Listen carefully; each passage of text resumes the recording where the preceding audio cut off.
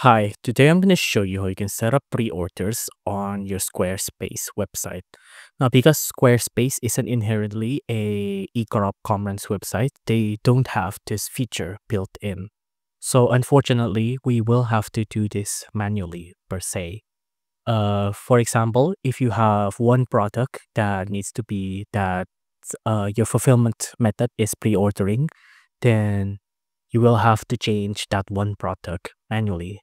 Uh, even worse, if you have a huge amount of products that uh, that's a pre-order, then you'll have to change them one by one by one by one by one. Now, so let's get started. First off, let's go to pages and let's go to the store section. On the store section, uh, click the one that you want to do a pre-order on. So on my case, it's Clippies Earth and Sky Planter.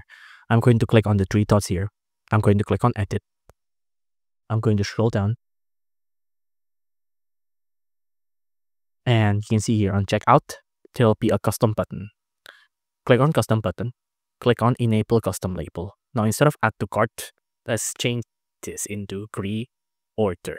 So the customer know that this uh, particular object or this particular product is a pre-order.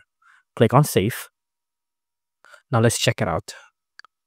Store and let's find the Earth and Sky Planter. Here you go. Click on it. As you can see, the button is now a pre-order button.